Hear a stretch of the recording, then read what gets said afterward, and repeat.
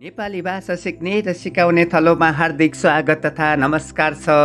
म दिनेश केसी आज कक्षा छको नेपाली विषयको वार्षिक परीक्षाको नमुना प्रश्नपत्र शिर चार लिएर यहाँहरूमाझ उपस्थित भएको छु। परीक्षाको सन्ध्यामा यो सामग्री पक्कै पनि उपयोगी हुनेछ भन्ने अपेक्षा लिइन्छ। अब हामी प्रश्नपत्रको संसारमा हराउँछौँ। एक दिइएका अर्थसँग मिल्ने शब्द खाली ठाउँमा लेख्नुहोस्। टेलिग्राफ घाट तर्क वितर्क पार। क।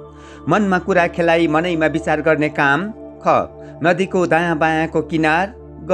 डाँडा वा पहाडको पल्लो बाटो। घ। एक ठाउँबाट अर्को ठाउँमा बिजुलीको सहायताले खबर पुर्याउने साधन। दुई। खाली ठाउँमा मिल्दो शब्द भर्नुहोस्। क। सुमनको उस्तै अर्थ दिने शब्द हो। फल भावना फुल। ख। सज्जनको उल्टो अर्थ दिने शब्द हो सोजन दुर्जन महाजन। ग अनेकार्थी शब्द हो मनोहर सहर रहर। घ फलफुलको समावेश शब्द हो स्याउ मकै गहुँ। तिन अर्थ स्पष्ट हुने गरी वाक्यमा प्रयोग गर्नुहोस् नै माया मार्नु। चार शुद्ध शब्द छानेर लेख्नुहोस् अ सहर सापट आ सञ्चालन। पाँच तल दिइएका वाक्यलाई शुद्ध पारी लेख्नुहोस् हाम्रो देश वीर गोर्खालीहरूको देश हो त्यसैले हाम्रो इतिहासभरि हाम्रा पुर्खाहरूको वीरताको गाथा पाइन्छ। छ तल रेखाङ्कित शब्दहरूको पदवर्ग छुट्याउनुहोस् स्रोत भनेको कुनै कुराको मुहान वा आधार हो। सात कोष्टकमा दिइएका धातु र सङ्केतका आधारमा खाली ठाउँ पढ्नुहोस्। क तपाईँ मेरो गाउँमा आऊ अज्ञातभूत।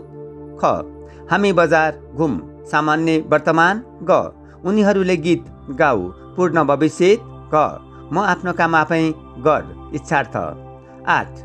दिएका सङ्केतका आधारमा वाक्य परिवर्तन गर्नुहोस् क। उनी कथा भन्दै थिए निम्न आदर ख। हामी किताब झोलामा राख्छौँ एक वचन ग। ऊ सधैँ हल्ला गर्थ्यो अकरण। नौ। दिएको अनुच्छेद परि उत्तर लेख्नुहोस्। अलिबेरमा हँसिलो अनुहारका छोरीहरू अघि लगाएर मुस्कुराउँदै बुबाहरू पिपल चौतारीमा देखा परे छोरीहरू त मिल्थे नै। बुबाहरूको पनि बोलचाल भएको आमाहरूले चाल पाए ए हामी मात्र किन नबोली नबोली भित्रभित्र जलिरहने मालिकाकी आमा? गरिमा कि आमाले भनिन् मेरो पेटमा त नराम्रो केही छैन है अब? प्रश्नहरू क। अनुच्छेदबाट उपसर्ग र प्रत्यय लागेर बनेका एक एकवटा शब्द लेख्नुहोस् ख। अनुच्छेदबाट एक एकवटा दित्व र समस्त शब्द लेख्नुहोस्। ग। अनुच्छेदमा रेखाङ्कन गरिएको पिपल चौतारीमा शब्दको कारक र विभक्ति लेख्नुहोस्। दस। दिइएको गद्दांश परि सोधिएका प्रश्नको उत्तर लेख्नुहोस्। प्रकृति ज्ञानको भण्डार हो यो एउटा खुला पुस्तक पनि हो। हामीले आफ्ना बालबालिकालाई प्रकृति र वातावरणमा रम्न सिकाउनुपर्छ। यसका लागि प्रकृति र वातावरणलाई नजिकबाट हेर्ने अध्ययन गर्ने वा भ्रमण गर्ने अवसर उनीहरूलाई दिनुपर्छ। राम्रो प्राकृतिक वातावरण भएमा शारीरिक तथा मानसिक अवस्था पनि राम्रो हुन्छ। यसबाट बालबालिकाहरूमा सृजनशीलता विकास हुन्छ। यसले उनीहरूलाई एउटा जिम्मेवार नागरिकको रूपमा परिवर्तन गराउन सहयोग गर्छ। उनीहरूले समाज वातावरण वा प्रकृतिबाट नै सिक्छन् किताबी ज्ञानभन्दा अनुभवबाट सिकाइदिएको हुन्छ। प्रश्नहरू क। प्रकृति के को भण्डार हो? ख। बालबालिकाले कसरी सिकाउनु पर्छ ग। हाम्रो शारीरिक तथा मानसिक अवस्था कसरी राम्रो बन्छ? ग। सिकाइदिगो बनाउन के गर्नु पर्ला एघार। दिइएको अनुच्छेद परि चारवटा बुँदा टिप्नुहोस्। नेपालीले पाहुनालाई देवता मान्ने प्रचलन छ। आफूले रुखो सुखो खाए पनि अतिथिलाई मिठो मसिनो खुवाउने नेपाली चलन छ। जननी र जन्मभूमिलाई स्वर्गभन्दा पनि महान ठान्ने परम्परा छ। सामाजिक हितका लागि पार्टी पौवा बाटोघाटो र पुल पुलिसा बनाउने चलन छ। नेपालीको दान गर्ने बानी प्रशंसनीय छ। समुदायमा जिउँदो ज छँदा जन्ती र मर्दा मलामी जाने प्रचलन छ।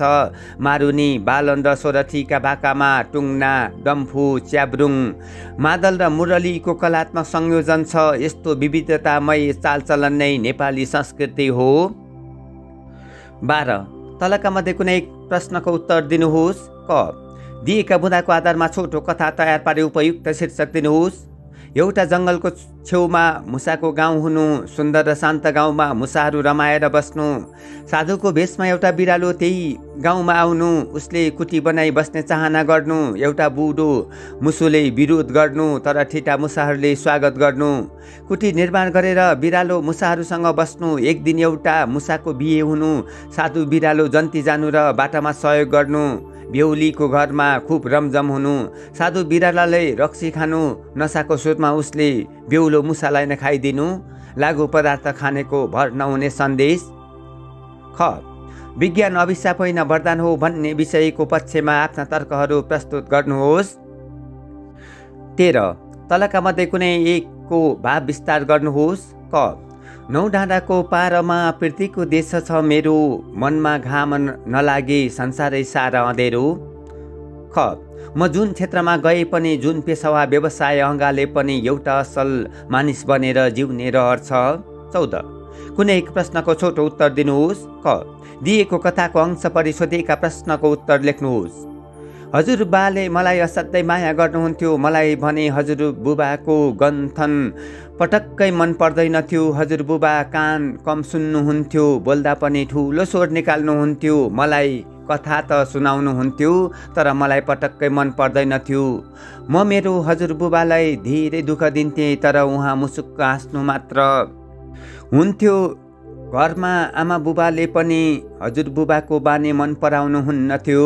बुबाले लुकाएर दिएको खानेकुरा लुगाफाटो आमाले थाहा पाउँदा घरै उचालेर कराउनुहुन्थ्यो। म आमाको पछि लिएर कुरा लगाउँथेँ। बुबा चुप लागिरहनुहुन्थ्यो। हजुर बुबा मन अमिलो पारेर आँखाभरि आँसु बोले बोकेर नबोली बस्नुहुन्थ्यो। प्रश्नहरू क अ। हजुर बुबाको स्वभाव कस्तो थियो? आ। हजुर बुबाले बोल्दा किन ठुलो स्वर निकाल्नुहुन्थ्यो? यी आमा कतिखेर कराउनुहुन्थ्यो? यी हजुर बुबाले किन मन अमिलो पार्नुहुन्थ्यो? ख दिइएको जीवनीको अंश परि सोधिएका प्रश्नको उत्तर लेख्नुहोस्। थोमस एल्बा एडिसनले सन् अठार सय एकहत्तरमा मेरी स्टिलवेलसँग विवाह गरे।